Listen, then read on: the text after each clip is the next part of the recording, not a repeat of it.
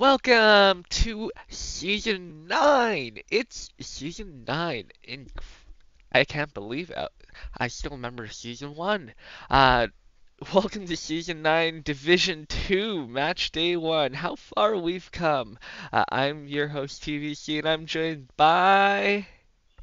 It's Laser back in the booth. Welcome back, Laser. Second time this week. Thank you for covering our Founders Shield earlier this week to kickstart our competitive season. Uh, but today we've got uh, Division 2 ahead of us. What do we have on the docket? Um, looks like we will have, uh, we will have, uh, my brain, Paris. Uh, Romana and Paris uh, will be one of the games that we have today. And the other ones I neglected to write down, so that was a error on my part. That's alright. I happen to have the backup here.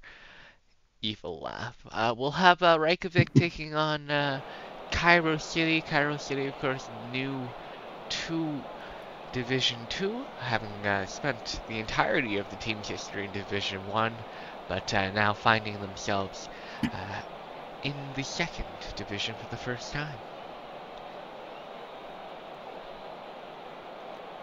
Yeah, they uh, barely got relegated last season. It was a close race down to the very end. Came down to the last match day in a head-to-head versus Catalonia, and Cairo has basically torn down the entire team and uh, rebuilt. Yeah, it's, it's gonna be interesting to see how they do this year. They've definitely got an interesting uh, future ahead of them now.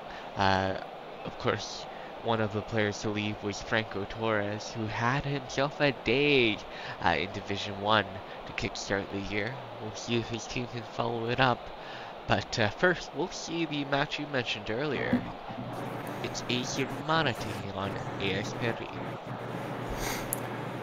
Yeah, and uh, Paris didn't really have a whole lot of changes in the off season. They uh, they did lose Peter Oak to free agency. He went to Reykjavik, and they did draft Axel Jafari. Uh, besides that, no changes for the Paris side, which that is of all the changes that did happen in Division Two this season, they are remarkably the same as to what they were last season. On the Romana side, they have they did a lot of changes. They uh, traded for Vui Kimwatu. They signed Powdered Toastman and Yves Matthew. And Yves Matthew they did then loan out to uh, Sao Paulo.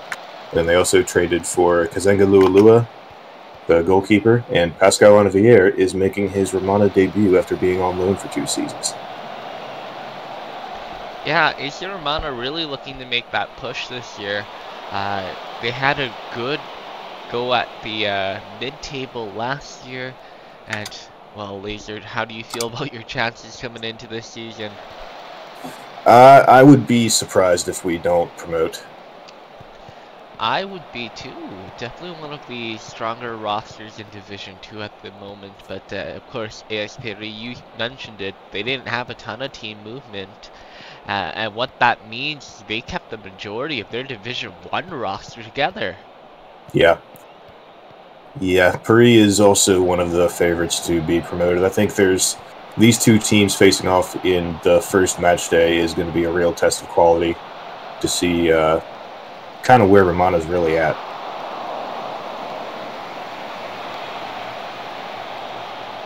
First five minutes of play have been uh, largely quiet. We saw a couple of chances there, but nothing, nothing too crazy. Yeah, I think both teams just trying to uh, feel the defense, uh, get get a good feel of the rhythm of the game. Uh, they're both lined up in a 4-2-3-1, I believe.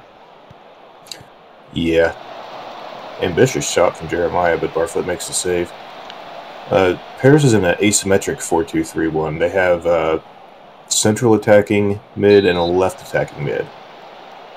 Yeah, it's a bit of a weird staggered formation from ASPB. Uh, ooh, Schweinsteiger nearly had the first of the year yet again. Just outside. So we'll see if the overload from AS gets the better of uh, AC Romana today.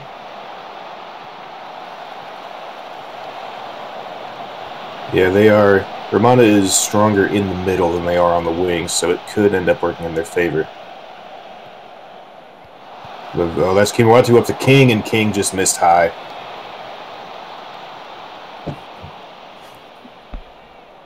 I was surprised you John shot there. Yeah, that was that was a heck of a run. And Brisky will take the first corner of the game for Paris. Headed away.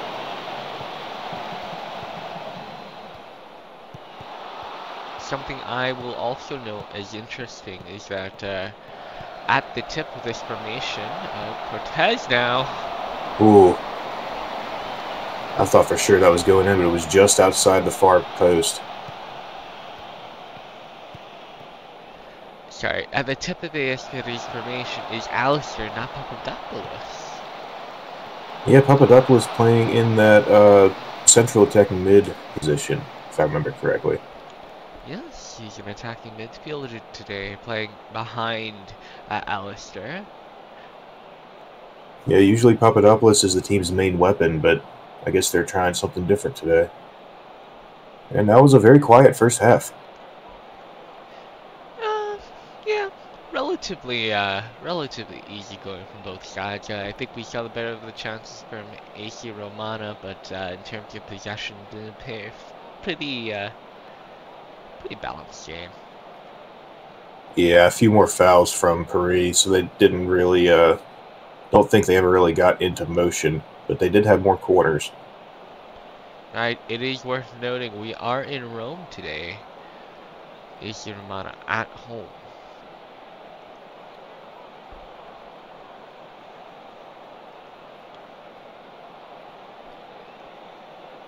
Romana opening the season at home, I think perhaps for the first time. I don't recall if they have been at home to start the season before.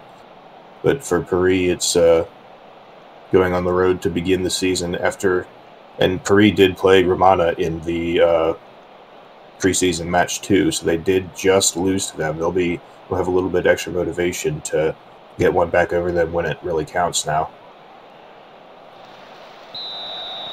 But we do have a substitution for Romana. It's John Zoidberg coming in for Tyson King. A pretty get... important sub uh, as King was on a yellow there. Yeah, yeah, Kagan picked up the yellow in the 28th. Paris has uh, Jay Brisky on a yellow, caught in the 18th. He's one of their, uh, I believe he's their right back. Yeah, no. Left back. Nope, you said it right the first time. He is a right back. Okay. He is playing on the left today, though, it looks like. Or no, I'm crazy. I don't know what I'm talking about. He is on the right. Oh, there's Jeffrey Levert. Has a chance. Shoots. Barfoot stops. You know what helps, Laser? If you hold your fingers up in front of you, the one that makes the L is the, uh, the left yeah. I do it all uh, the time. That doesn't help as much, though, when it's oriented so that you would have to make a U facing the other way. Fair. 61st minute already, and there's still not a ton of action coming from either side.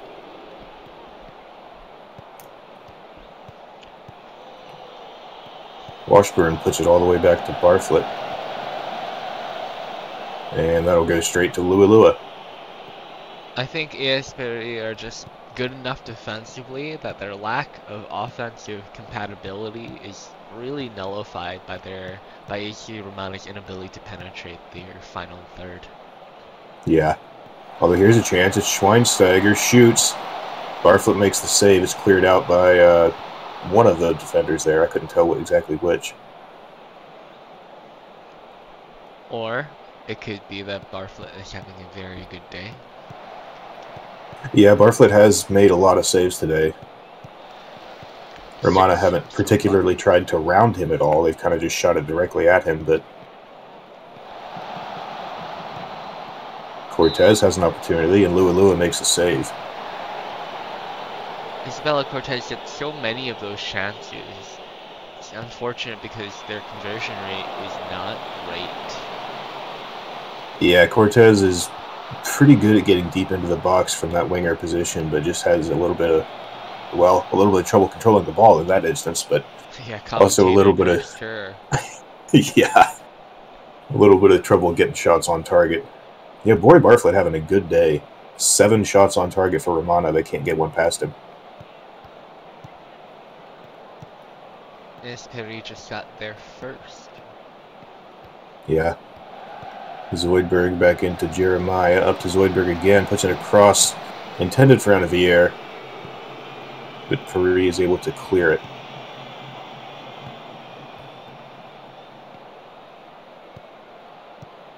Nunez up to Anavier on the left wing.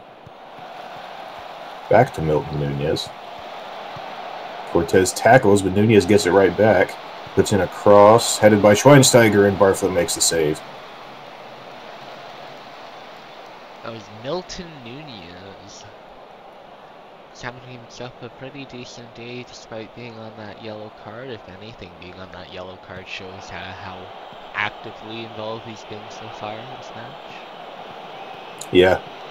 Yeah, the Nunez brothers have been quite good for Romana on those uh, right and left back positions. Yeah. Cortez with the cross. Papadopoulos shoots, and Lualua makes the save. Papadopoulos didn't really have the best angle there.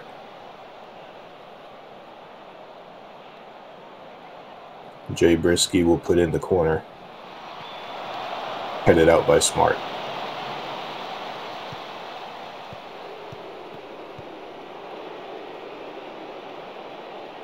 And still a very quiet game as here's a corner from Anavier. Puts it in, headed towards the net, held by Barflett again. They cannot, they're just shooting it directly at Barflett, making it very easy for him to save these shots. Washburn hoofs it up the field. Tyson Nunez will end up with it. Pass forward to Anavier. Puts in a cross for Levert, but Zoidberg grabs it. Cleared out by Paris. And that's a free. Barely offside from McAllister. Yeah. And Toastman will take the free kick. Only one minute of stoppage time, and that means there's only one minute left in the match. Toastman on the wing to Nunez, puts it back into Anavier. That's a three ball to Zoidberg on the wing. Shoots, and it's outside. Outside Hit the post, net. that should be it. Lest Barflick kicks this into someone's foot. Yeah, it's only about 20 seconds. It's.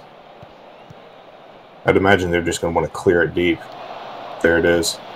Clear deep. Nunez grabs.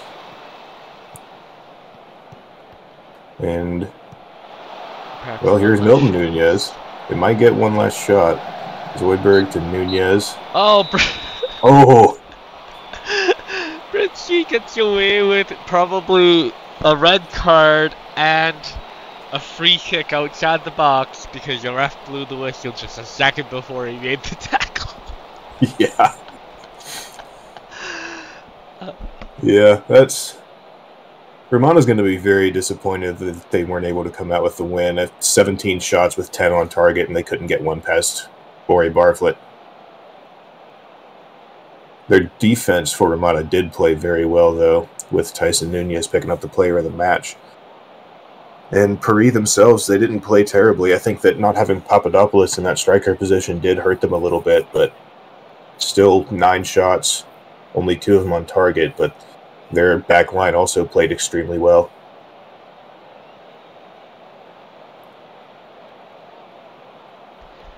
Yeah, defenders picking up the player of the game award from uh, both sides, I believe. Uh, I really do think that uh, Boyer Bartlett got robbed of a player of the game award there, but you know, they're gonna say it's a team effort. Fair enough. Yeah.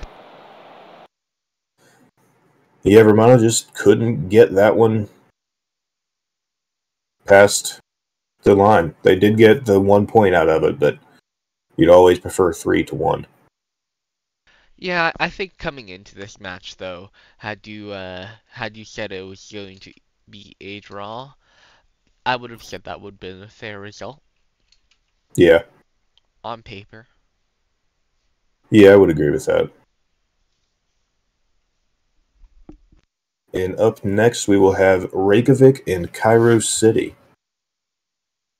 which is uh, a bit ironic considering the number of players from Cairo that Reykjavik now has. They've traded for uh, Reykjavik traded for Malachi Black, Patrick Bjorkus, and Ketchup Noodle from uh, Cairo prior to the start of this season. They also signed Peter Oak from Paris, and they most notably traded for Scott Sterling, the former Division One goalkeeper from Hollywood. That is probably the biggest shock move to, for me this year. Um, Nico Rashford moving away from Hollywood, probably number two, but Scott Sterling is probably one of the faces I identify with the most uh, with Hollywood. Yeah, yeah, I would agree with that.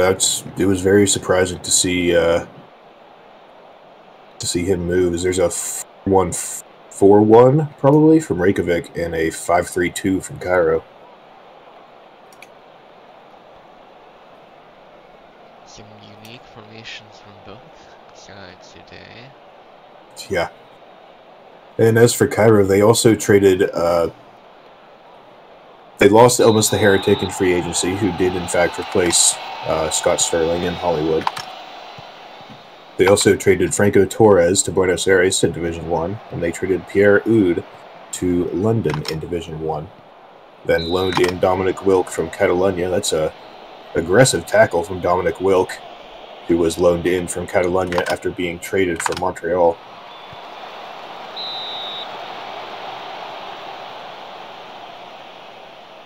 And uh, I'm just seeing it now, but it looks as though Cairo has also signed Alexander Stoy- Stojakovic from Romana.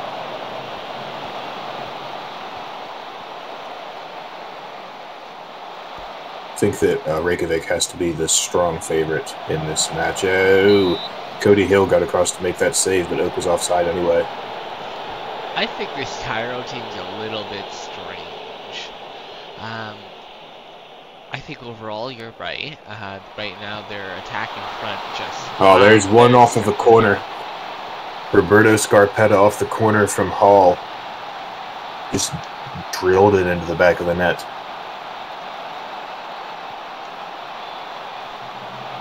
And uh, that is the Roberto Scarpetta as uh, the only Scarpetta to be in this match at the moment. C Scarpetta is sitting on.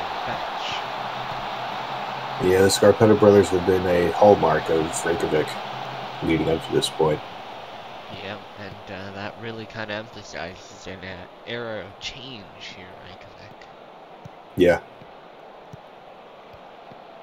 Yeah, Letitia with a good dribble. O'Rourke got to it and shot, but Stojakovic was able to block, and then it's cleared out by just in time.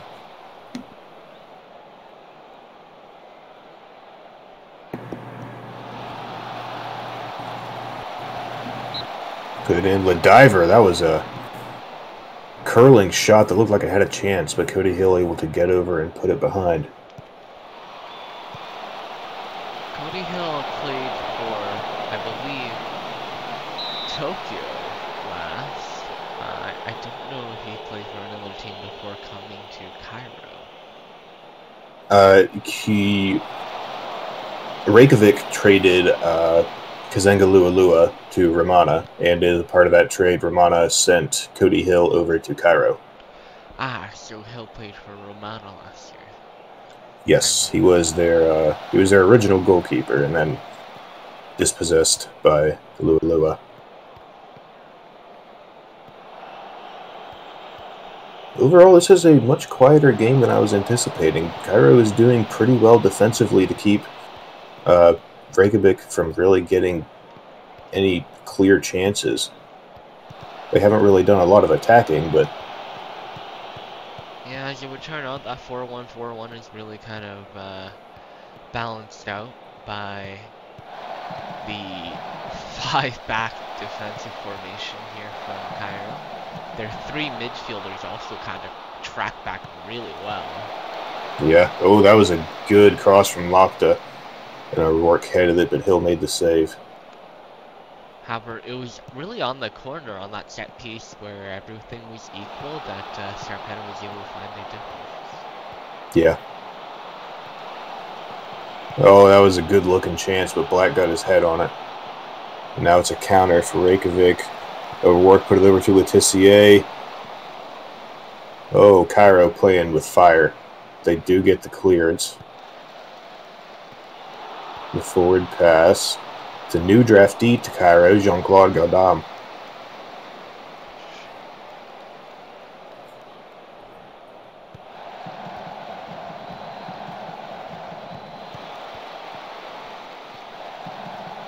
Always love to see new draftees making their debut. Oh, that's Zizu Lopta. Crossed Hill up and put it on the far side. And that's a second assist of the game for Eric Hall. First of the year for Lopta there. Cutting in on the left winger here. That was just a great through ball by Eric Hall. Recognized that there was an opening, got it straight through to Lopta, and just froze Cody Hill where he stood.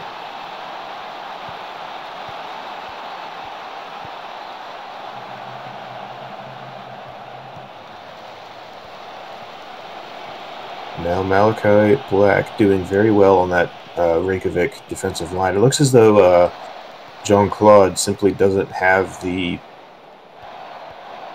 acceleration that uh, Cairo is used to from Franco Torres, and they are putting through balls a bit too far out, just making it very easy for Reykjavik to get to them. There's another chance from Lopta, but Arisov tackles. What I was, uh, I think, trying to say earlier is that, oh, oh come on, another another foul as I'm trying to make this point. Okay, I'll, I'll drop it. Andrews with a double shot, but doesn't get either of them in. It was a bit too, bit too tight of an angle.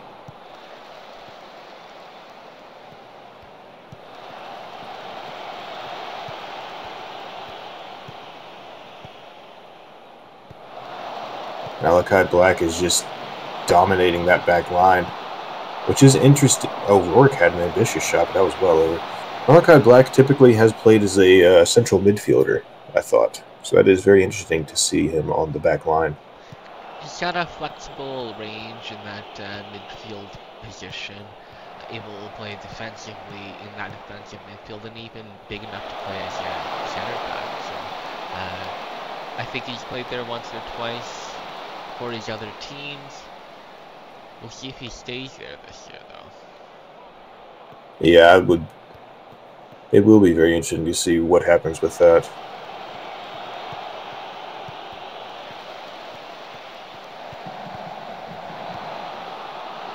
Oh, there's one for Andrews, just behind. Reykjavik is playing some really impressive stuff here today. And it's still only 35 minutes.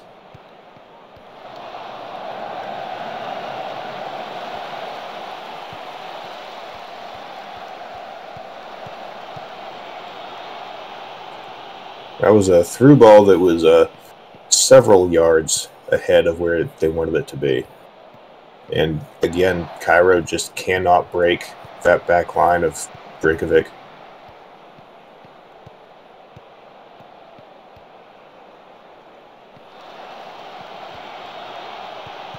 You know, they're getting it close, he's getting ahead of the way just like there, and there's Lachlan O'Rourke, puts it over.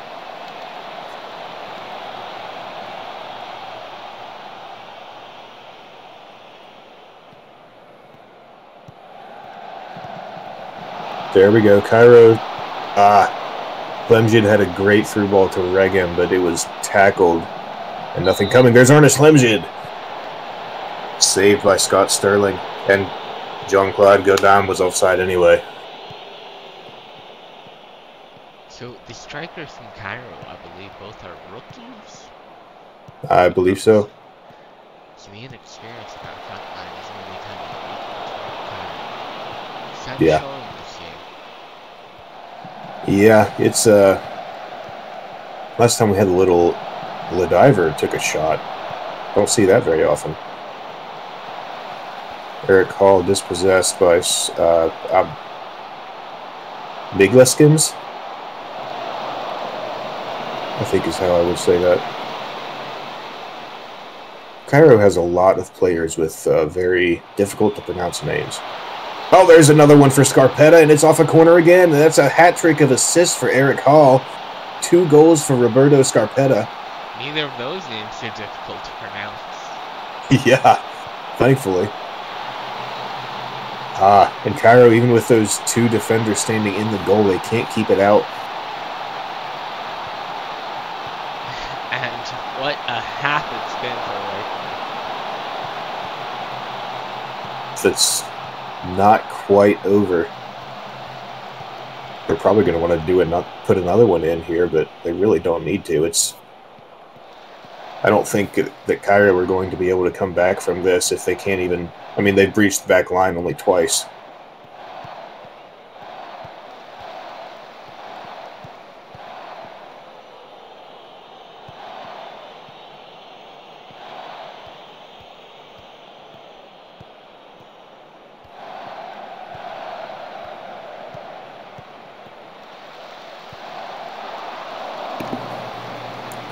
Was another chance for Reykjavik, saved by Hill. And there's the half. And it's been uh, nothing short of domination for Reykjavik. The single shot that we saw from, uh, I believe it was Arnos Klemjid, was saved by Scott Sterling. And 27 shots for Reykjavik, 12 shots on target, two goals off of corners, which typically you don't really even see one, so that is something to watch for. And Eric Hall is just really the main the main player for Reykjavik today with those three assists. Yeah, it's kind of absolutely dominant half for Reykjavik. Uh, I think their three goals are a uh, proof and testament to that enough. We'll see if they can continue into the second half with that momentum, and if they can, then that's going to be a lot of bad news for Cairo. Yeah. Yeah, Cairo. I think they knew that they were going to have a little bit of a difficult season after trading away nearly all of their core, as well as losing some more to free agency, but even a I would have expected more than one shot on goal. Well, every team has a bad half. Uh, Cairo's still very new. Maybe this is their worst half of the year, and it's only better from here. Yeah, very possible. And uh, we did have a substitution that I uh, glossed over as I was talking too much. of work shoots, but it's a good bit outside. Uh, Ketchup Noodle came on for, I believe it was uh, Lopta, Zizu Lopta. Indeed, the goal for Lopta being subbed off for uh, Ketchup Noodle. Ketchup Noodle is the former Cairo man, so not surprised that they would put him on to try and give his former team the what for. He's also for, played for Seoul as well. Bluefield, the original team he was drafted to. Okay, I didn't know that. There's O'Rourke. There it is. Lachlan O'Rourke beats Hill. That was just a great play. Peter Oak put in the through ball, broke through the defense. Then O'Rourke, Hill came out to meet him, and that proved to be a bit of a mistake, although I don't know what else he could have done.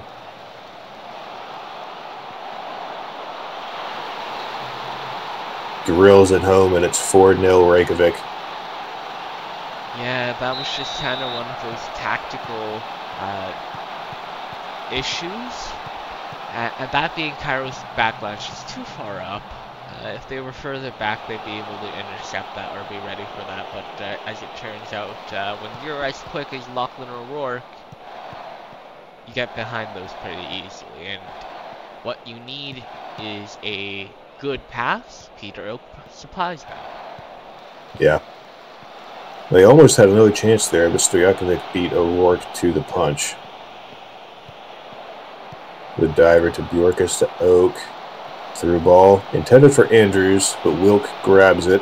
Hill attempted to clear it, but gave it right back to Oak. Oh, Harley Andrews has one. Very well worked by Reykjavik. They had shots on goal or very close to it three times there, and the third one finally made it through.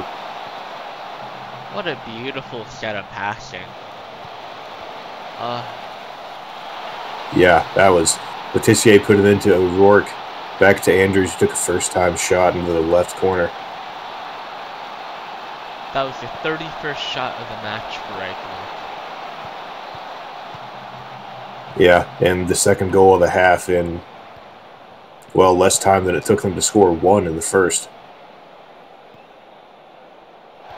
Feels like Reykjavik found out how to, to attack this Cairo defense.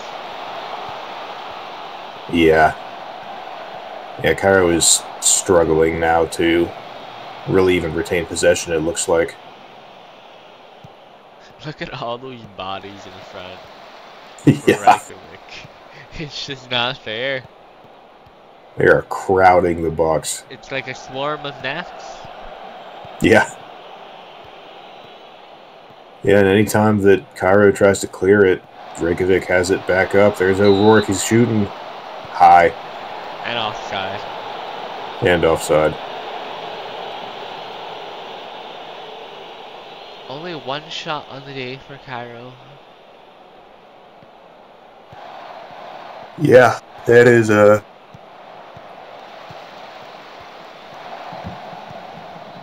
Hopefully, they can make some changes to. Uh... Oh, that was an ambitious header. yeah, that.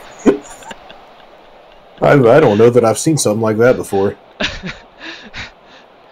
Liz Jeffers said, fine, I'll do it myself. Yeah. Or perhaps he was just trying to have some fun with it. Eric Hall put in the corner. It was given right back to him. And Eric Hall is just all over the ball at the moment. Now it'll finally be headed out to the other side where Hall the diver will control. And Ladiver shoots. Yeah, Ladiver is definitely just having fun with it at this point. Trilled it off the back of the left O'Rourke's head. I know he yeah. appreciates that. yeah. Letitia is going to shoot. Hill makes the save. Seeing these, uh, the defenders shooting is always a sight to see. Usually, if a defender scores, it's off of a off of a set piece where they head it in. But every once in a while, you get situations like this where the defenders are just going at it because why not? Yeah, um, this is a very aggressive formation uh, from Reykjavik. Yeah. O'Rourke, or excuse me, Bjorkus to O'Rourke, who shoots and Hill saves.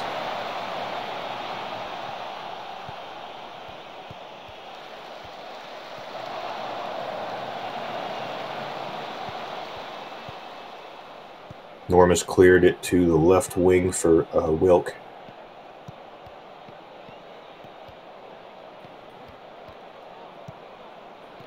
Now Cairo is working. The through ball to Jean-Claude Gadam. He has a shot. Puts it right in Sterling's breadbasket. That is the second shot of the day. And the first on target.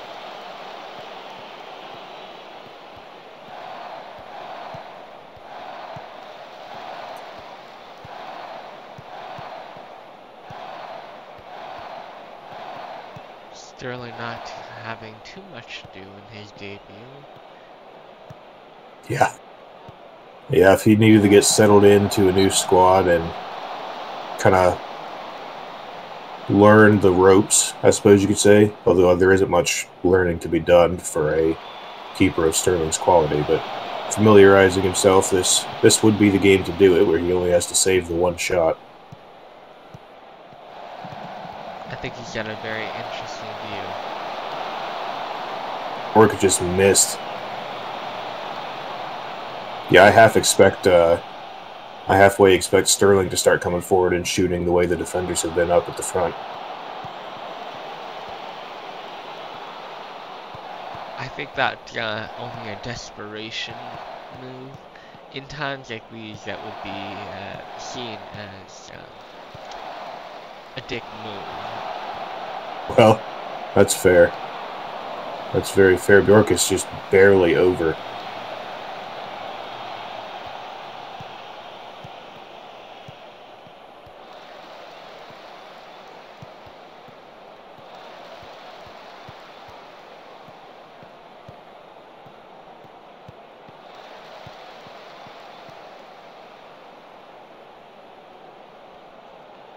Interesting decision from uh, Cairo there to uh, play the ball into Reykjavik's far corner to absolutely no one.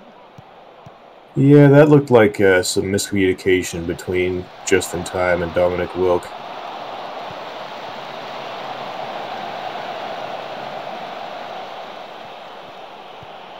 And Reykjavik is still just.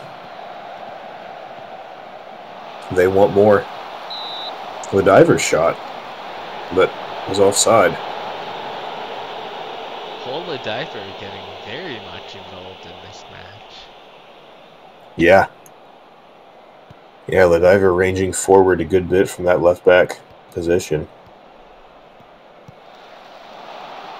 There's a through ball from Regem to Jean Claude Godin, who shoots, and Sterling makes a second save of the day. That was a that was the best move that we've seen from Cairo thus far. That looked very well put together. Now it's a clean sheet saving uh, effort from Scott Sterling, showing just what value he brings to the team. He'll have several of those this year, I suspect. Uh, yeah, I'd be, uh, I would be rather surprised if Sterling does not have the most clean sheets in Division Two. As O'Rourke misses again. A mercy, a mercy ball. Yeah.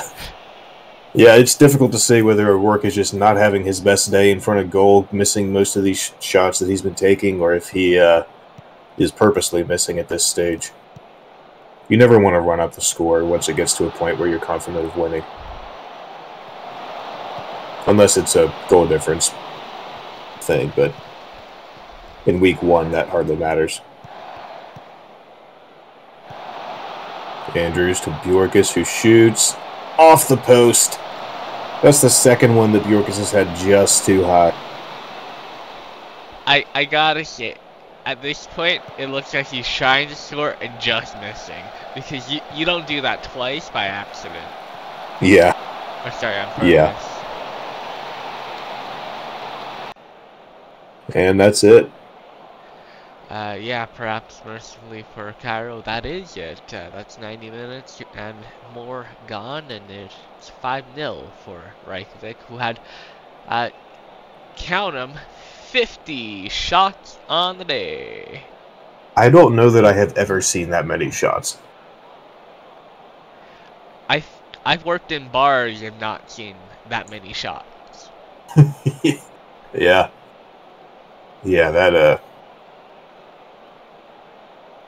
I don't think there's a whole lot to go over after that, other than Eric Hall with a hat trick of assists and uh, Roberto Scarpetta with the two goals, which I'm actually going to look. I'm curious to see how many Scarpetta had prior in his career. Unfortunately, no hat trick from Scarpetta. I don't think we've had defensive hat trick yet. Maybe one in the in the history. I don't remember who though.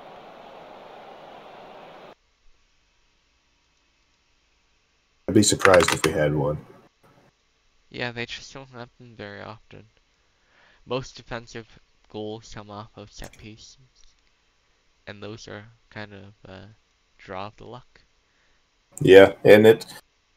I've I assumed as much, but I can confirm that. Uh, what a formation from Accra! That is a. Uh, well, we'll go over that in a minute, but it is the third goal of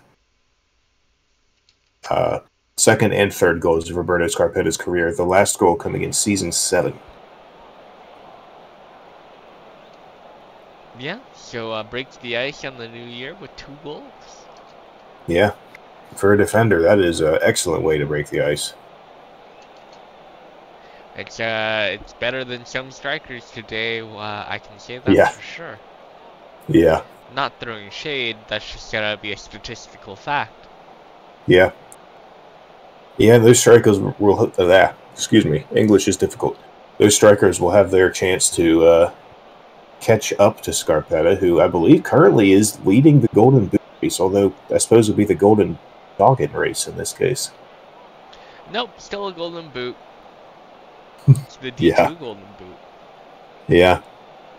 But our next match is going to be Accra and Kaapstad. And both of these teams also underwent some changes, though not a ton, as we see that uh, 4 2 3 1 from Kaapstad and then uh, 11 players on the field for Accra. I don't even know. A 6 2 2? Is that what that is? Uh, I would say 3 5 2. That Makes sense. But Accra traded uh, Vui to Rome for two first round picks. And they've also loaned in uh, Hinata Hyuga from Athenae. Then Kaapstad made a good number of moves as well. They've uh, released two players. They lost Jonas Krustis to free agency and imme- or excuse me to retirement, and then drafted Jonas Krustis Jr. And they've also loaned in four players this season: Ronaldo de Silva from Catalonia, and then Rafael Ramos, Gino Chouinard, Chouinard. How do you, I don't know how you would say that name, uh, and Mark Spoon, and loaned out David Doug to Seoul. Yeah, a lot of movement.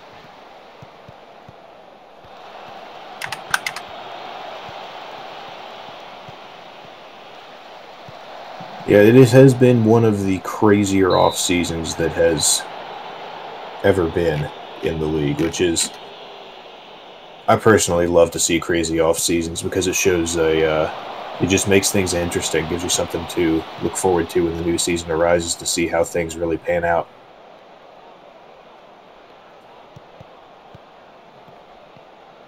Yeah, I find it interesting how uh, how much movement we're getting now. Yeah, I think that the uh, the salary cap is starting to take a toll on some teams. I that was the reason that uh, Miko Rashford was traded away from Hollywood was because of the cap. That Dexter Hall came out to grab that ball, and Berbatov almost beat him to it. Now Tucker is on the wing, doesn't really have anyone crashing with him, and. Uh, free kick for Kaapstad. Tucker's offside.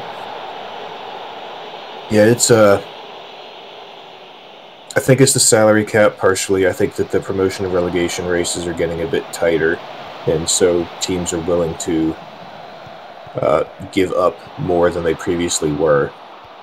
I also think that teams are starting to have a little bit more idea of where their best players are at. As there's a shot that's high from Tucker and so they're willing to trade away more assets than they previously were. And I also think it's regression is coming very quickly, and so teams are starting to plan for that and prepare to uh, tackle regression without losing a ton of anything.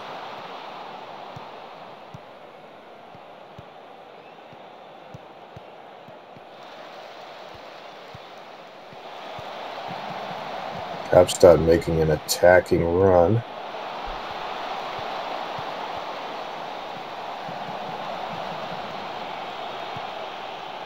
Come to anything. Or, yep, nope, doesn't come to anything. And Accra's going to counter. Tucker gets to the line again. He's pretty good at doing that, but Spoon has been able to box him out so far.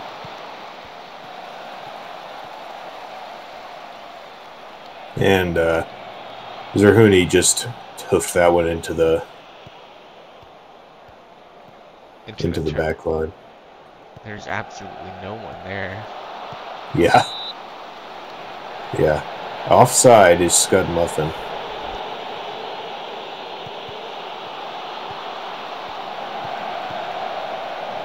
Clark headed, or excuse me, past it. Wow, what an ambitious shot.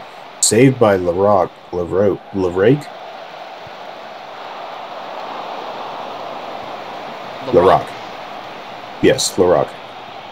Oh, uh, my pronunciation is difficult at best. That's alright. English is a weird language. Yeah. Especially when you're trying to pronounce other languages in it. Yeah. Yeah. I think LaRock would be LaRoque in French. That sounds about right. And Llewellyn there, that gave me fits the first time I had to pronounce his name. That's Welsh. Yeah.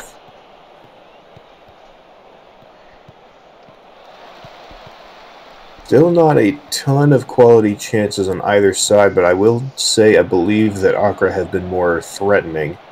They've been able to get further in to the box.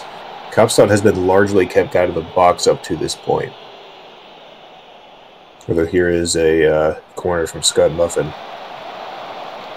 Just over.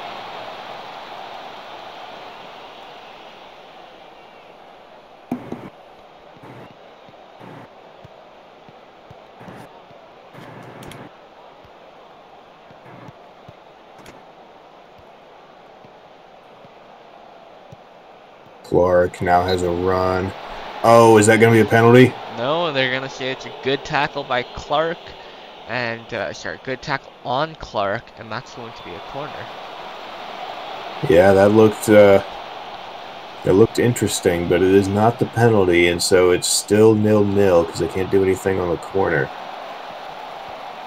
Kaapstad is looking better as the half goes on, I will say. Oh my, Clark had a good idea there to get it to De Silva, but Taco Cat got there first and saved a certain goal. LaRoque was able to clear that for uh, Accra, and uh, Kaapstad pressing now. Yeah. Yeah, Kaapstad seem as though as the half goes on, they are waking up. Offside. Yep. Set pieces. Yep, teams need to learn that, uh... Oh, Oh, what a free kick from Scud Muffin. Rock makes the save, but that was very well placed. Yeah, teams need to learn to not give it back to whoever put the corner in. It's the AI. It's, uh, for some reason, I think it's a reasonable decision to make. Yeah. It is not, but that is. AI will do as it pleases sometimes. I- I, Clark. sh- I Oh. sure hope not. We'd have, uh, we'd have Skynet on our hands. somewhere.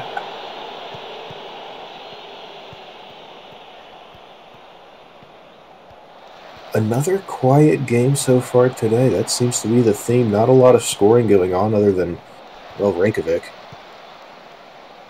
Here's a chance. Tucker forward to Cat. He doesn't really have anyone crashing with him, and that is going to be out for a corner. I think. I think that, that. Uh, oh, go ahead. I think that early on in the year, that uh, teams are really just trying to get a feel for how they operate individually amongst competition. And as the year goes on, that uh, we're going to see them uh, adapt a little bit better to uh, the teams around them and start figuring out how to attack the defense. Yeah, I think so. And I think that uh, that looked promising there for a moment from Muffin. Trenard to Clark. Clark shoots, and The Rock makes the save. Can I I just think say, De Silva's a giant of a man. Yeah, rivals Sky Rise. He is hulking over that field. Yeah, he is massive. And that's the first half. a quiet one. You mentioned it earlier. Uh, 54% possession for Kaapstad. It reflects in their attacking opportunities, but not a ton of clear-cut chances. Yeah. Yeah, equal number of corners and fouls. Well, nearly equal. And it's really, I think that Accra can do a lot better than they are currently. But I think that their formation in only having those two attacking players uh, and then having everyone else in the backfield is preventing them from being able to really get any really good chances out. And as we've we've seen that we have seen that uh, Accra has had a lot of players running up the wings uh, and looking to get a cross back into the middle of the field, but there just hasn't been anybody there to uh, to take it, and it's been completely flooded by the back line of uh, Kaapstad. And then on the other hand, we've seen uh, Giannis Christus Jr. in the poacher position for Kaapstad, and poacher is not a uh, not particularly a, a role that will see leap or runs. It's more of a hang around, wait for something to come to you, try and stay out of the mind of the defense.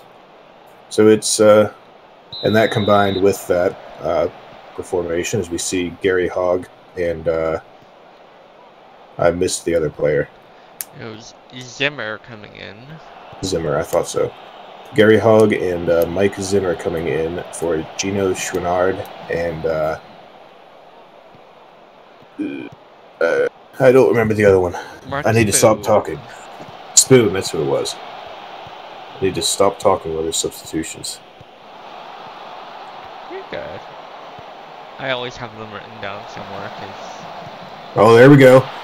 Oh, it's a goal for Rob Tucker. They heard me talking and they said, You are wrong. Tucker almost did it himself there. Made the dribble up the middle. Saw Urban Trout on the wing, pushed it over to him, made the run, got back on the ball. Hall got his fingers on it a bit, it looked like, but didn't do enough to block it outside. And we have a 1 0 lead for Accra. Yeah, looks like a bit of a mix-up after the changes came in for uh, Kaapstad and see Romano Rabel capitalized right away. Just a little bit of a lapse. That was dangerous.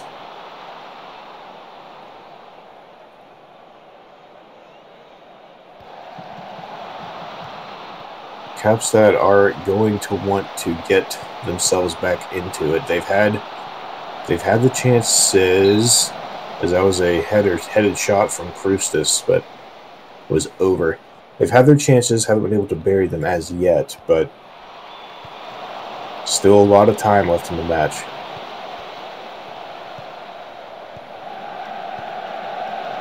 Oh, ambitious shot from De Silva, but it was a bit outside, and the Rock saved it anyway.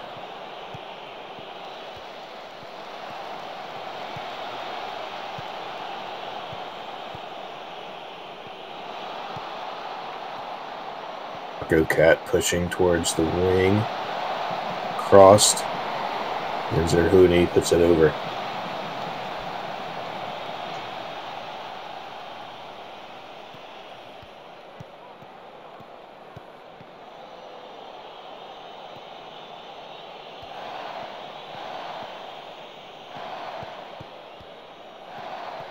Llewellyn on a yellow now for Accra. That that happened recently.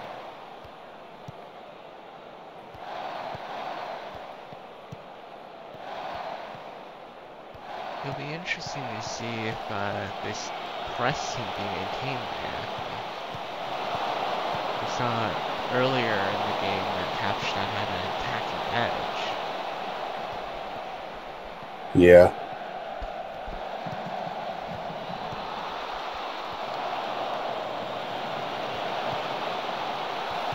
Yeah, Kaapstad have been trying to do something. That was, That was them trying to do something, yep. yeah, that was ambitious, I believe, is the right term.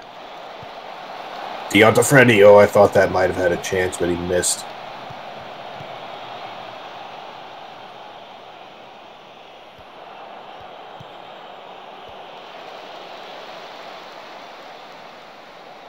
Oh, oh Rob oh. Tucker looking like he might be injured. He's not gonna come out of the game. He stays on, so I'm not quite sure. Matter of fact, he just picked up a yellow. Wonder, I wonder if that was for embellishment. I I would also be very interested to see that. It's not often that your striker picks up a yellow, but now he doesn't seem to have any problems as he shoots from distance and misses high.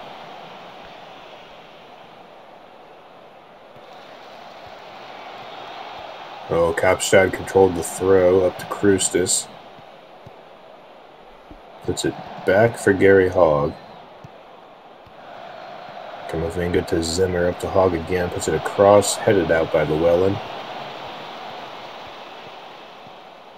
And that was a promising chance for Kaapstad, but it's not going to come to anything.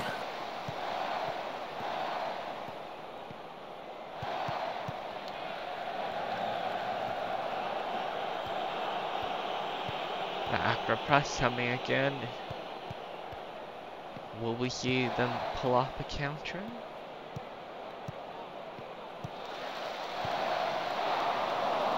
They tried, but Tucker couldn't get it on target. Difficult angle. Yeah, maybe distracted by the lack of uh, fans, lack of away fans. Yeah.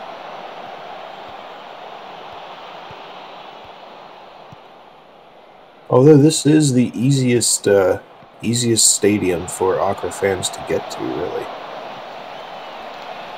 Yeah, it really is. It's the uh, Battle of Africa. Yeah, Well, Cairo also in Africa. no, true. True, true, true. Dion!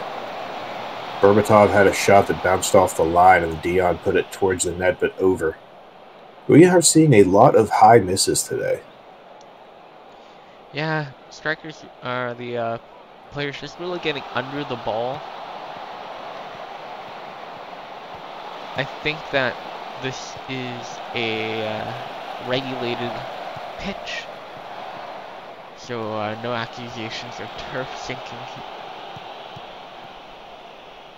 And it's the start of the year, so the pitch should be pretty perfect, but uh, you never know. Someone might overwater. Oh. Oh, Berbatov missed. That was a great chance for Accra to make it 2 0, and Berbatov just missed it. And then that through ball for Zerhuni is saved by Hall. I don't know if that technically counts as a save, actually. Ooh, Whittington dispossesses Chrysler Jr. before the ball even gets to him. Doesn't get called for it.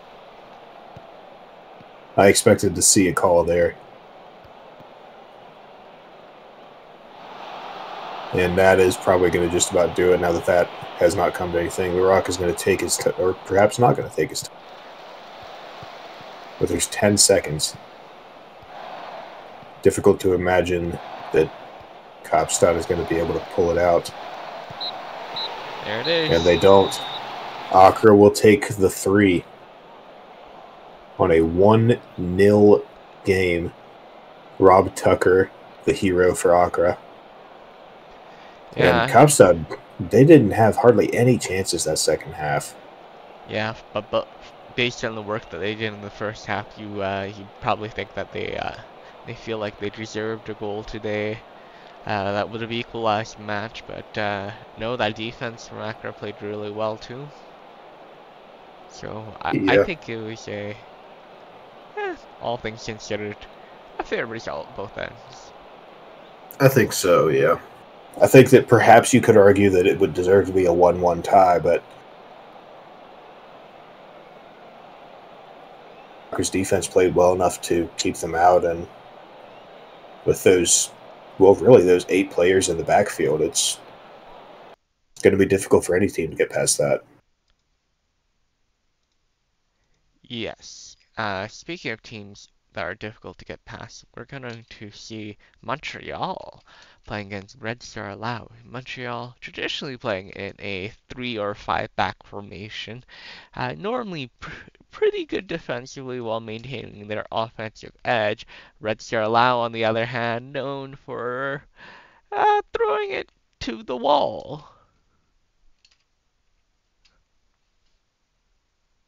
Yeah, last season they were I mean, they finished the season on an extremely high note with the high-powered scoring and uh, not the best defense. But if you score enough, the other team.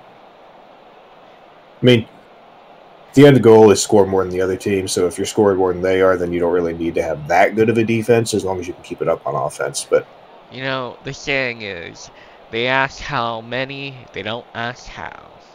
Good grief! What is that? A f- five-two-three for Montreal, and a four-two-three-one with defensive midfielders from Red Star. I would say Montreal's playing in a five-two-one-two. Five-two-one-two. Yeah, I can see that. I would imagine that. Uh, well, I can't see the roles, but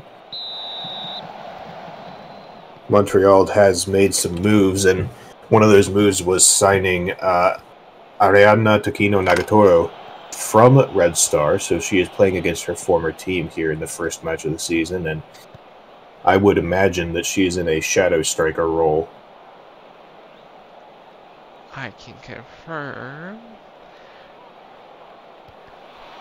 No, they are playing as a advanced playmaker on attack. Okay. It is attacking. That's. I am a little bit surprised that's not a shadow striker, but then again, they already do have the two up top, so you had a third shadow striker, essentially taking out another member of the team that's not going to contribute on defense. Is there a Guerra put a shot on target? It was offside though. Oh, was he? I missed that. Montreal went through a large number of changes in the offseason as they have loaned in Alessio Calvatore from Hollywood, who was the uh, the regular sub for Vidal Valor last season, now taking their talents to Montreal for the season. Yeah, They've, part of the cap casualties in Hollywood uh, over there. Calvatore a massive part in their uh, in their, I believe, back-to-back championships. Yeah.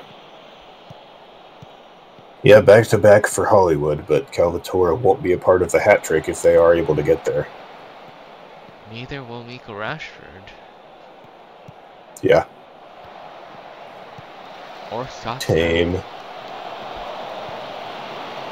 Yeah, Sterling, I believe, will have a bit of a chance. Oh, wow. Modelo shot from a good distance away, but Duke made the save.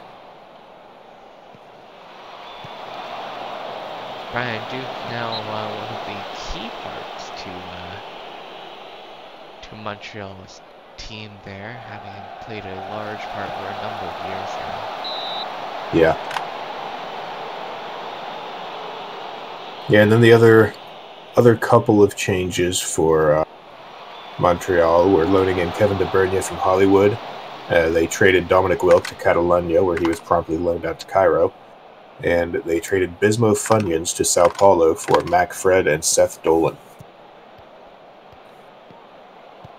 Yeah, that's a lot of moves. Yeah, and plus their draftees Gareth Allard and Vinnie Jones. Now forgive me for saying so, but I've said it for a few years now. Cairo, sorry, Montreal are building something, but at this point, uh, oh. drills the post. I don't know what they're building. They just continue to build. Yeah. Yeah, it didn't help that they lost uh, Yves Matthew in free agency as well. He was one of the centerpieces of that back line. Weren't able to retain him. Casual has a bit of a chance. Can't get there fast enough, and there's a goal for Ariadna. Ariadna Naitaro Maradona able to put that into the top corner, out of the reach keeper. Not much you can do. A well-placed shot from a really good spot. Absolutely unmarked. That's what happens. Yeah. Yeah, DeBernia just did an excellent job redirecting that back pass from Casual. Now it's going to be on Red Star to get it back. Yeah, which if Furious Chicken is on the field, you have to imagine that there's a good chance that they will. Chick- oh, that's clean tackle by Fanto Benz. They say nothing but ball. Certainly, the the striker would, uh, or sorry, winger would have to disagree with that. Yeah, some uh, aggressive tackling going on in this first match day, shall we say.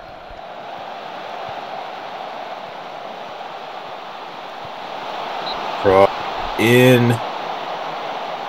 Jones had a shot at it, but not able to put it on target as Tame puts in the corner, held by Duke. It seems that Division Two teams are taking advantage of the fact that uh, we bring in uh, referees on their uh, coaching program tenures. Yeah. Yeah, they, they charge a cheaper rate from the union. Yeah. Cheaper is not always better, but these referees typically do a pretty good job.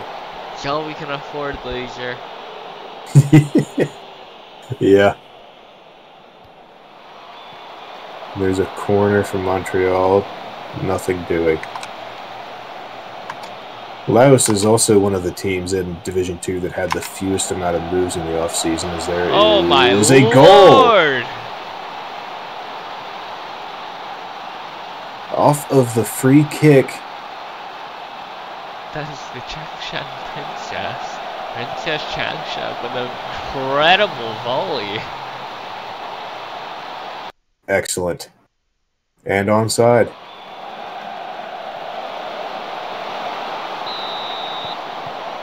And like we said, it was on Red Star Laos to get it back. They're good at that.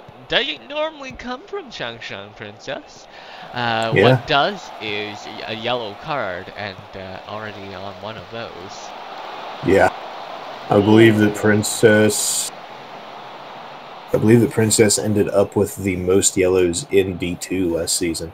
I I think it was Time, Maximum Time, that was uh, the leader at the end of the year. Princess right behind them, and uh, yep. Time on the book sheet already as well. Yeah, that.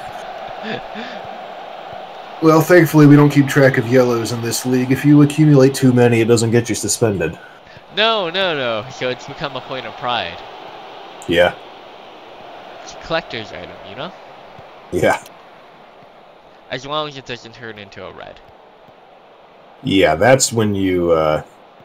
We see a remarkably low number of red cards, I think. Usually only two or three a season. Yellow will uh, help you become a Red Star Lao player, uh, but red will help you become teams. Yeah.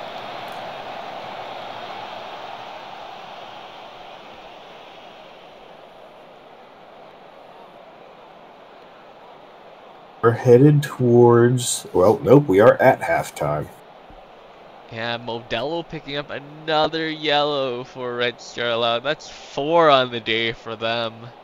They just one more and they'll have half the team. Yeah, it's uh, it's getting to that nervy point. At what point do you do you step in as your coaching staff and say, "Hey, I love the passion, but play smart."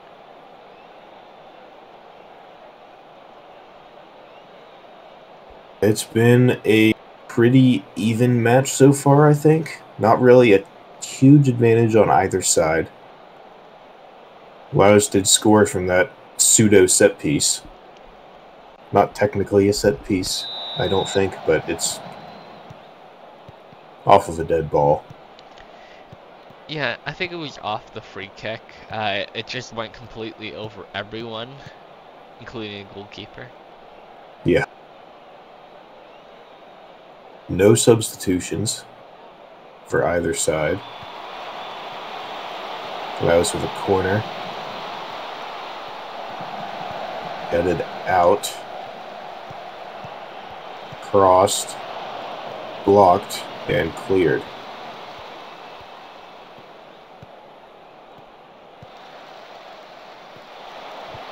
Oh. Montreal nearly that's Minone connecting with the post a second time this match.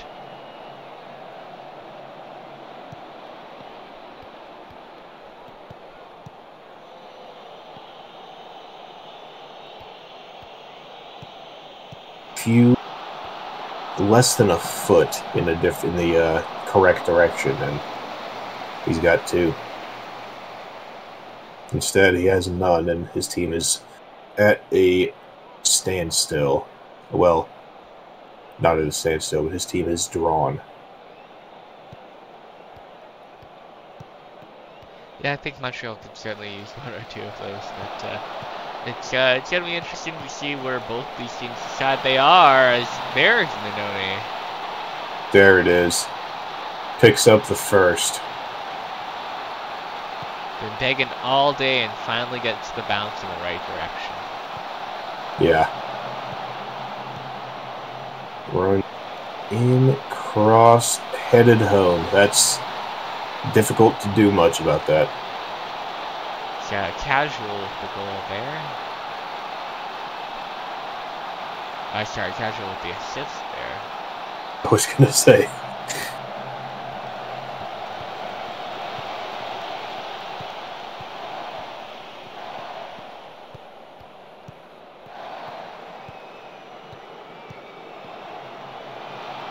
Driving again.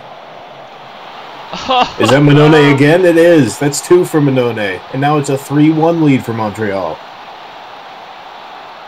Dexter Minoni, this, again, uh, fourth time's the charm, I suppose. Gets the bounce in the right direction, drills it into the bar, underside down into the net, and bounces out on its way. And, uh, wow, what a goal. It's almost impressive that Minone has hit the bar that many times at this point. Oh, there's Hunter Jones, has a chance, blocked by Phantom Benz. Certainly, we know now he's just aiming for a spot. Yeah. Every striker has their kind of uh, routine. That's Minone's. At least this year. Yeah. Guerra shoots, Duke makes the save.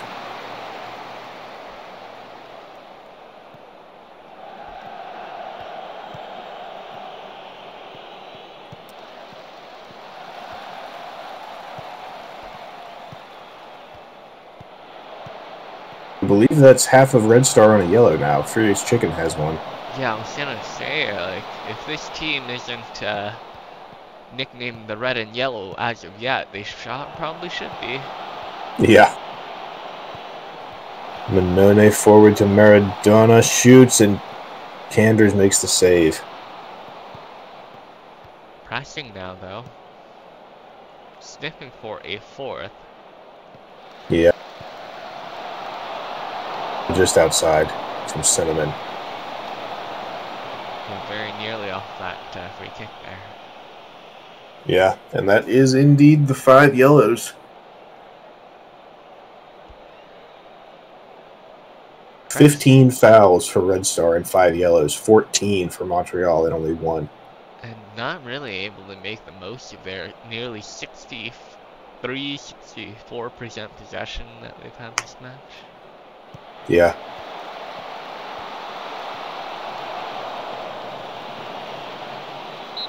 Yeah, and that's full time out of nowhere. Last I looked, we were at 78 minutes, and all of a sudden the game is over, and it's a Montreal victory, three to one. Yeah, well, you go up by a couple, it becomes easy to hit cruise control, and when you don't have the ball, like Montreal did, they only had 37% possession of the ball. Uh, it becomes easier to just let your opponents play it out. Let them Yeah. do the running. Yeah. Yeah, nobody had a particularly excellent day for Red Star. I mean, five yellows, yellow. six yellows. It's amazing no one got sent off. Yeah, Guerra picked one up in the 90th. That is incredible. Uh, player of the match is Dexter Minone for the uh, incredible crossbar work, as well as the two goals. Certainly the, the uh, groundsman will not be happy with him. Uh, Yeah, But he is at home, so I'm sure he'll uh, he'll be able to repay the favor with some paint work. yeah. And that is all the matches for the day. Some uh, some interesting results. I can't really say that I'm shocked by any of the results. But I think it was a good look into what the new season is going to look like with all of the movement that we've seen. And we see the table up there, Reykjavik sitting on top with their goal difference, uh, large goal difference uh, margin, but of course it's only week one, so entirely possible that by this time next week, Reykjavik is on the bottom of the table. Absolutely, it can quickly turn heel in Division uh, Two, as we we've seen time and time again. Yeah. Yeah, but Yes. uh, Uh, what a slate of games. That that is uh that's it though. Uh, that's it for us here at uh, HQ as well. Uh, thank you for joining us, and if you stuck it out through the match, I appreciate you. Uh, that's going to be it for us. And today it's been TVC, and I've been joined by. And I hope everyone has a good night.